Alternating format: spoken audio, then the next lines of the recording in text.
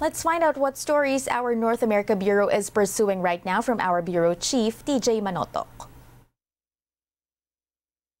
Good morning to our friends at the Rundown. We begin with Leni Robredo opening up to the Fil-Am community about her experiences as the Philippines' former vice president as she joined and celebrated with the University of the Philippines Alumni Association for their grand reunion and convention in the East Coast.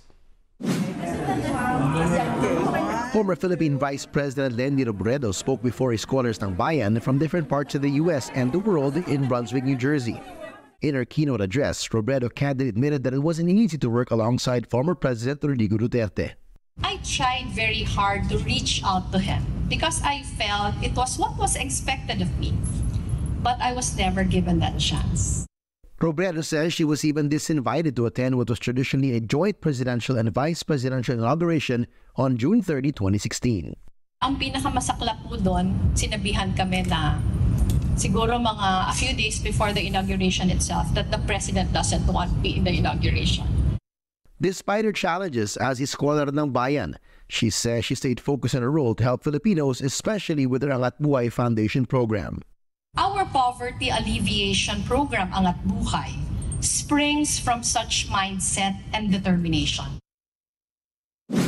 In other news, we head to San Francisco where Filipinos joined close to 100 nurses and hospital staff on the picket lines as they protested about work schedule flexibility. The healthcare workers from the San Francisco VA Medical Center, led by their union Local 1 of the National Federation of Federal Employees, are protesting a cost cutting measure which cancels flexible work schedules for bedside nurses. Known as 7280, the flexible work schedule is popular with nurses as it allows them to work for 72 hours while being paid for 80. They don't want it canceled as it gives them the much needed break between shifts and allows them more time with their families and loved ones. Nurses are upset because the union and nurses were not consulted before this decision was made, and uh, the, the schedule allows nurses to rest and recharge. Um, and we are worried that uh, revoking this schedule is going to cause a staffing crisis at San Francisco VA, um, which will, you know, lead to more nurse burnout and ultimately harm uh, patient care for veterans. First and foremost, thank you, thank you, thank you, thank you for all your hard work. Let's stand in solidarity with all of you and tell the VA hospital to do the right thing and do right by you and tell them it is time. I want to hear it. What do we want? 72 do we want it? Now! And finally, we head to Norfolk, Virginia, where the dance group Hilobong brought indigenous culture close to Filipino Americans. Audience members at the Chrysler Museum in Norfolk, Virginia were transported to Lake Sebu in South Cotabato, also known as the land of the Dreamweavers, as Hilobong danced to the beat of the music. The music, dance, and costumes are a way for the Philippine indigenous T'boli tribe to tell their stories and their unique culture to the world. What makes this so meaningful is they hail from Mindanao and they flew in from the Philippines, and it's sponsored by the U.S. State Department. And what's even more spectacular is Hampton Roads is their first stop. And so their very first performance here was at the Philippine Cultural Center in honor of Indigenous Peoples Day. Hilobong, which means endless joy, is a community dance troupe from the T'boli tribe in the Mindanao Group of Islands. And those are the top stories making the headlines amongst the Filipino community in North America. For more of our TFC News, catch it on our website, news.abs-cbn.com slash TFC News, on the ABS-CBN News YouTube channel, and on the ABS-CBN News app for your smartphones and tablets. Back to our friends on The Rundown. Award-winning Filipino-American musical director Troy Laureta is set to release his final original Filipino music album. He talked to our Hollywood correspondent Yong Chavez and shared why this album is extra special. Dalamhati is Troy Laureta's third and final original Filipino music album. Why final? I think, you know, when I was curating the project, I wanted Dalamhati. I, I wanted it to be like a story. You know, my first album was called Kaibigan. My second one was called Giliw. So I, I wanted to kind of round it out and just you know bring it all home with a breakup album. So it's a, it's an album about breakup, finality, um, about just like the end. You know, all good things come to an end.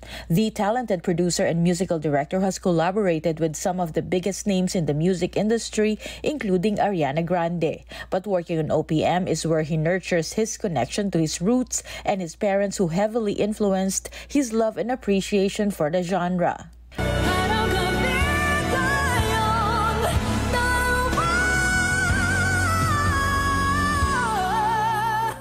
For Laureta's OPM albums, he enlisted not only some of the best Filipino singers, but also international talents like Never Enough singer Lauren Allred, who learned Tagalog to sing Araw Gabi. It may be his last in the OPM series, but Dalamhati has a special place in his heart because he says it is the first album that he completed as an openly gay man. The artist became emotional as he shared what it means to, in his words, finally be fully himself a lot of the reason why I, I, was so afraid to pursue certain parts of my life including parts of music is because i was closeted and i was afraid that you know what i did or what i said would you know embarrass my family or you know bring shame to the fam or you know people would judge me. So um, when i came out the whole catalyst for that was just the pandemic. And there's there was you know us being surrounded by so much sadness and so much death. I, I I told myself like I am not leaving this earth, honey. Not telling people who I am. So I was at lunch with my mom and we sat and and we I just poured my my my heart out and cried my eyes out and I Laureta and Martin Nievera's version of Ryan Cayabyab's Kay Ganda ng Ating Musika is its first single. Other already announced artists include Regine Velasquez and American Idol's Jordin Sparks and Katharine McPhee. It has 24 songs performed by artists from the US, the Philippines, Asia, and Latin America.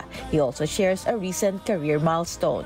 I worked with David because he had a couple um, a run of shows in Manila, mm-hmm. and the first time that I was able to be a guest mm-hmm. as on David and Foster and Friends, I used to be, you know, I, I was his musical director and I would, you know, MD the shows. But this was the first time he invited me as a featured guest and we did an OPM song. So that was such a big full circle moment for me. Um, we did Kailangan Kita with Pia Toscano. Dalamhati at Troy Laureta OPM Collective Volume 3 will be out on October 27. Yong Chavez, ABS-CBN News, here in Hollywood. Philippine House lawmakers ordered the 10-day detention of the whistleblower who had accused the land transport regulator of corruption. Jeffrey Tumbado was cited in contempt during a House committee hearing after he recanted his accusation against land transport regulatory chief Teofilo Guadiz III. Tumbado apologized to Guadiz at the hearing. He admitted to having no proof of his corruption allegations against Guadiz, who was his former boss. Ang naging basehan ko po yung mga operators na lumalapit sa akin, na nagsusumbong, na ganito, na meron pong corruption talaga sa LTFRB. Not particular um, si Chairman Guadis. Uh, wala pong direkta na ala, kaalaman na sangkot po siya sa, sa corruption. A town in Albay province placed under the control of the Philippine Bull Body ahead of the village and youth council elections next week. That's amid several killings there involving local officials, including a village chairman shot by a riding in tandem gunman. Dito po sa Libon, sa Albay, minarapat ng inyong Commission on Elections na ilagay siya sa Comelec Control. Base na rin sa rekomendasyon ng ating PNP, AFP, Coast Guard at ng uh, Regional Comelec namin. Uh, dahil nga sa pangyayari noong uh, Agosto, The Philippine National Police has also placed over 300 villages nationwide under tightened security due to election-related violence. Now, the Philippine Information and Communications Technology Department eyeing talk to e-wallet platforms amid the rise of alleged scams. The DICT says it wants to review the auto debit or auto payments feature where money is automatically paid to a particular app or company through an e-wallet account. Madaming reports ngayon na kinakailangan natin pag-ingatan ay yung app-based, yung interconnection ng mga e-wallet sa mga apps na hindi nyo trusted. Ang hindi mo alam, nakasave na pala siya at nag-auto-debit siya, nag-auto-renew siya. The DICT has also partnered with major social media and tech companies like Google, Meta, and TikTok to help raise awareness on cyber attacks and scams. Let's get an update on the weather now from Pagasa forecaster Lori De La Cruz. Good morning, Lori. Good morning, ma'am, and to our viewers and listeners. Northeast monsoon continues to affect northern Luzon and shear line uh, affecting the eastern sections of central and southern Luzon. With this, cloudy skies with scattered rain showers and thunderstorms is expected to affect uh, um, mainland Cagayan, Isabela, Quirino, Nueva Vizcaya, Aurora, Quezon, Camarines Norte, and Camarines Sur.